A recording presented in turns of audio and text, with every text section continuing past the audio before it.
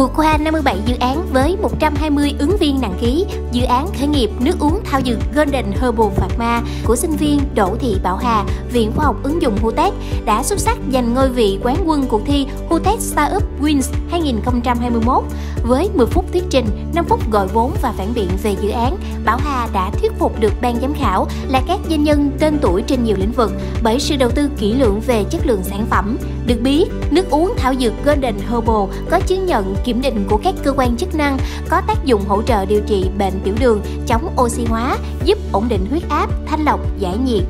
Cùng với đó, dự án bột tán sinh học Bio Founder của sinh viên Lê Trung Nhân và Nguyễn Thị Thủy Linh khoa quản trị du lịch nhà hàng khách sạn xuất sắc đạt giải nhì. Giải ba thuộc về dự án hotel Go đưa nhau đến trường của nhóm bạn Trần Thuận Hưng, Nguyễn Hùng Nhật Lâm, Trần Thị Anh Thư Viện Công nghệ Việt Nhật